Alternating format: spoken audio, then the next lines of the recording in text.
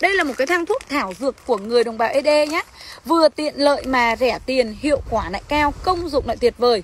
Công dụng chính của nó là đặc trị về đau lưng, đau nhức mỏi xương khớp, tê bì chân tay.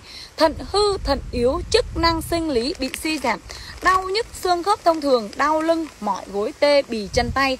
Bác nào mình đang bị bệnh gút, bị viêm đa khớp Mình đứng lên ngồi xuống các khớp tay, khớp chân của mình nó tê Nó cứng, nó đau, nó nhức, nó buốt, nó mỏi. Mình ngâm che một gói thảo dược. Đau nhức xương khớp thông thường, đau lưng, mỏi gối tê, bì chân tay. Bác nào mình bị bệnh gút, những anh nam giới bị yếu sinh lý Thì ở trong thang thuốc này nó đã có cái lá dâm dương hoắc. Nó sẽ giúp cho các anh là bổ thận tráng dương tăng cường sinh lý tăng cường sinh lực từ bên trong.